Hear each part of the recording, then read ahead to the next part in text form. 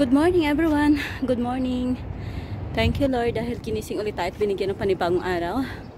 Panibagong lakas, panibagong content. Thank you Jesus. All glory and praises belong to you Lord Jesus alone. Maraming maraming salamat sa kalakasan araw-araw.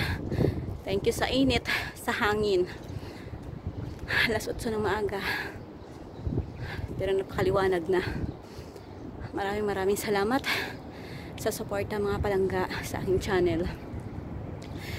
Maraming maraming salamat sa inyo lahat. Hindi ko po kayo maisa-isa dahil sobrang dami nyo. Kaya hanggang ditong na lang ang aking video for today. Don't forget to like, comment, subscribe yung channel, Jing Vlog. Ingat po tayo lahat. Jesus loves you. I love you all.